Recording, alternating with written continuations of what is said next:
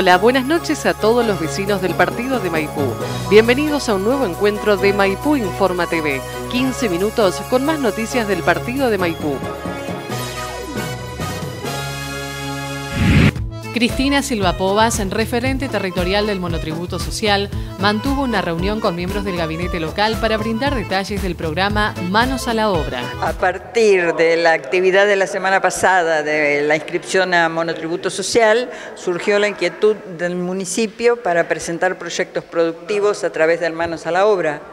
Eh, yo formo parte del Ministerio de Desarrollo Social de Nación, la oficina que se encuentra acá en Dolores, Centro de Referencia Dolores. Bueno, de allí nos acercamos y estamos asesorando al respecto. El Manos a la Obra es un programa, ¿eh? más que un proyecto. Eh, es un programa eh, de emprendimientos productivos con distintas líneas de acción, ¿no es cierto? Tiene proyectos unipersonales, eh, proyectos asociativos, eh, cooperativas de trabajo, talleres familiares, etcétera. Es un programa que, en, en, este momento es una dirección de emprendimientos productivos. Dolores, desde Dolores, desde el Centro de Referencia Dolores, atendemos 10 localidades de la región desde Castelli, Dolores, Guido, Maipú y después por la ruta 63, Taconesa, Tordillo, Lavalle, este, todo el partido de la costa, General Madariaga, Pinamar y Villa Gesell. En este momento estuvieron redefiniéndose todos los lineamientos y bueno, el mío es un primer acercamiento de la región, ¿no es cierto? A través mío se acerca el centro de referencia Dolores Ahora, a partir de ahora empieza el municipio a formular los proyectos y, después, una vez ingresados, vienen los técnicos del programa Manos a la Obra y ya le dan el, cierre definitivo, el acompañamiento y el seguimiento que se necesite. En el Maipú, el otro, la semana pasada, fueron 30 personas más o menos las que se inscribieron al monotributo social. ¿eh? Eh, trabajadores informales que decidieron pasar a la economía formal y se inscribieron.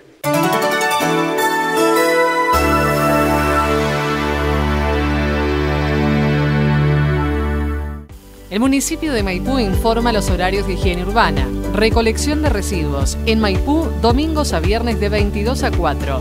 En Las Armas, martes por la tarde y viernes por la mañana. En Santo Domingo, lunes, miércoles y viernes por la mañana. Recolección de ramas y escombros en Maipú. Ramas, martes y jueves por la mañana. Escombros, miércoles y viernes por la mañana. Limpieza vía pública en Maipú, lunes a viernes de 7 a 13 horas.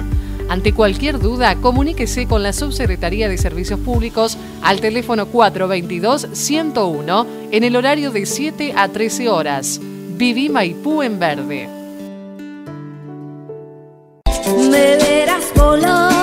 La Secretaría de Cultura de Maipú presenta Maipú en Concierto 2016 este 25 de mayo, Charo Bogarín, 21 y 30 horas. Teatro de la Sociedad Italiana, Maipú en concierto 2016. Nada cambiará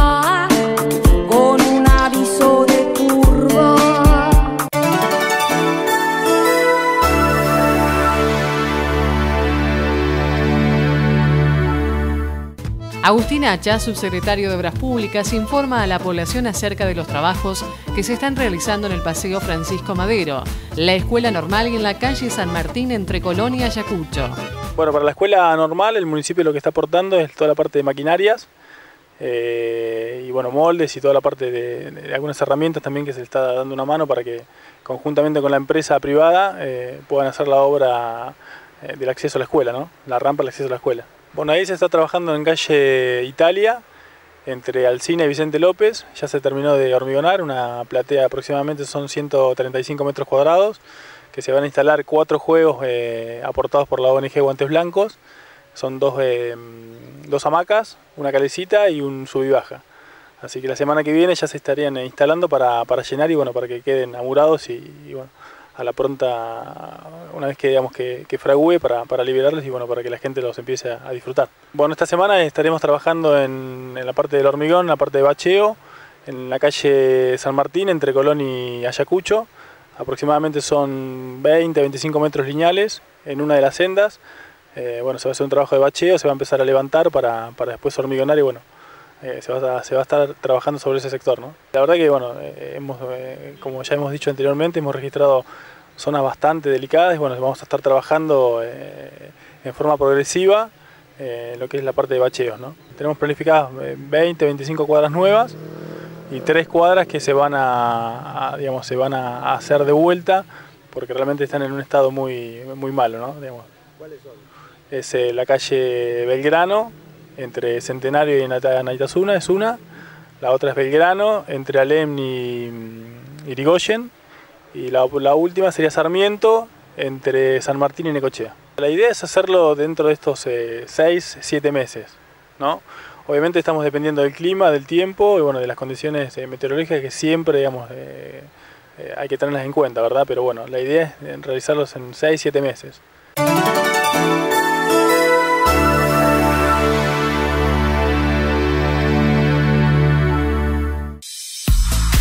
Secretaría de Cultura de Maipú presenta Maipú en Concierto 2016. Con la presentación de destacados artistas nacionales todo el año. Por la ciudad de la.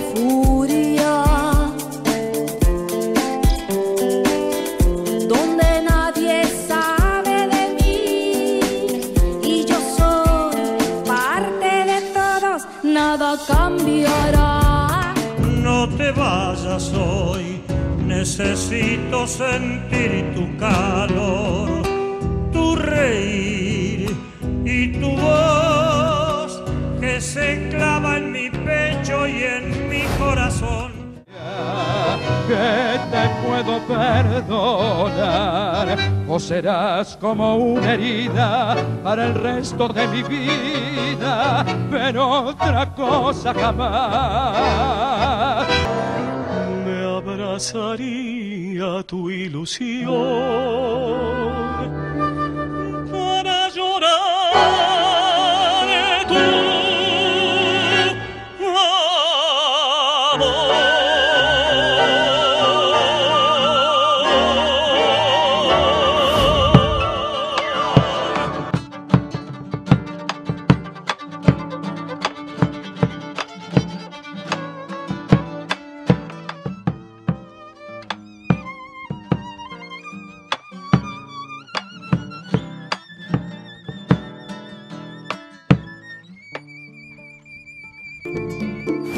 Bésame, bésame mucho, como si fuera esta noche la última vez.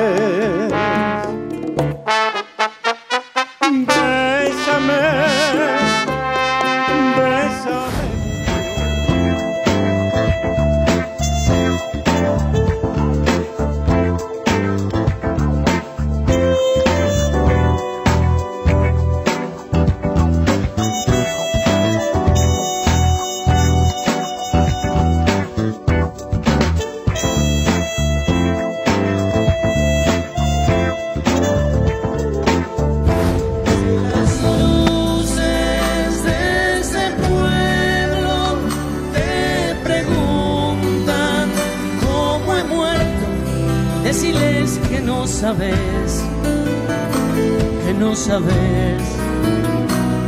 Mi revólver,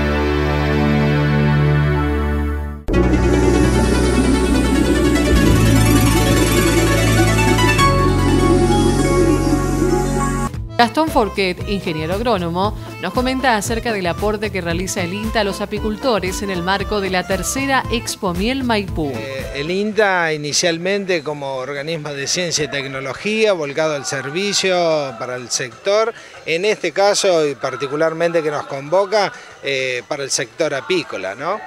Pero digamos no solo tecnología, investigación, asistencia técnica, sino también hacemos un fuerte hincapié en eh, desde la extensión, desde la capacitación, la transferencia de tecnología y un aspecto muy importante que es el desafío organizacional del sector también. ¿Cómo se ve a la apicultura maipuense dentro de ese mapa regional que, trata el INTA? Bueno, por suerte, digamos, nosotros eh, para esta región tenemos un desafío organizacional y tecnológico muy grande que es el clúster apícola. Maipú lo integra, está inserto y participando eh, eh, en ese esquema, en esa red de trabajo público-privada y particularmente Maipú yo creo que, ha evolucionado mucho satisfactoriamente, sobre todo esto visto desde los últimos 10 años digamos de, apicultura. ha tenido mejoras tecnológicas, mejoras en la organización, en los desafíos. Digo, hoy en día que estemos compartiendo esta Expo Maipú, eh, con una asociación apícola y el esfuerzo y el trabajo y el compromiso del municipio, como también del sector privado participando con sus stands. Eh, digo, creo que son un reflejo de que las expectativas y, el piso sobre el cual se construye la apicultura, bueno, eh, ha, evolucionado y en forma satisfactoria. El sector apícola tal vez no, está exento a, situaciones eh, macroeconómicas también y de comercio internacional, ¿no? si sobre todo consideramos que eh, el mayor porcentaje de producción de miel se exporta. Entonces, bueno, sin duda que hay cuestiones de mercado internacional que condicionan al sector eh, y particularmente a nosotros, a la apicultura, a la Argentina como tal. Eh, yo creo que sí, en términos generales hay cierto desánimo, por así decirlo, cierta preocupación y expectativas de cómo va a continuar por parte de los productores. Bueno, creo que en este momento tenemos que hacer hincapié, me parece, y el gran desafío es trabajar sobre los costos, analizar este, nuestros sistemas de producción, ver cómo podemos hacerlo, digamos, más eficiente, más rentable eh, y y bueno, y sobrellevar tal vez un, año más de producción. ¿no? Es un desafío grande porque en términos anímicos eh, golpea, digamos, desanima al sector. Pero bueno, eh, creo que tenemos margen para trabajar sobre los sistemas de producción, sobre la adopción tecnológica eh, y analizando los costos.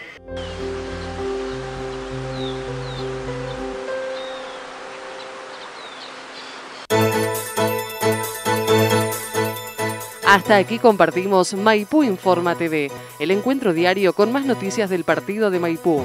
Los invitamos a seguir informados las 24 horas en las redes sociales, en la web municipiodemaipú.com.ar, Facebook Municipio de Maipú, Twitter Maipú Te Quiero, YouTube Municipio de Maipú Buenos Aires. Muchas gracias por acompañarnos y hasta el próximo encuentro.